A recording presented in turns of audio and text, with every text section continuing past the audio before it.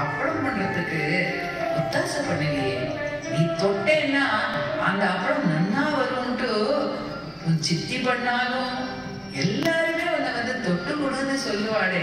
உனக்கு தங்க கைன்னு சொல்லுவாளே. வந்து கொஞ்சம் ஒத்தாசை பண்ணுப்பா.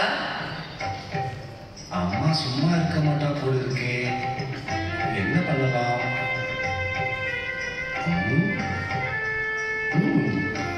அம்மா நீ பண்ற அப்பளத்தை நீ பண்ணு.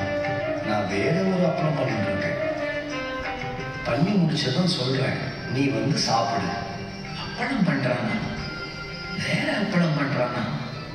என்ன அப்பளம் பண்ண முடியும் அவனால? சரி சரி. இதுக்கு அவன் ஒத்தாசை பண்ண போறது இல்ல நானே இடுறேன் அம்மா நான் அப்பளம் பண்ணி முடிச்சிட்டேன். நீ இல்லையோ தெரியாது. நீ வந்து என்னோட அப்பளத்தை சாப்பிட்டு பாரு வா. அதுக்குள்ள பண்ணி முடிச்சிட்டானா?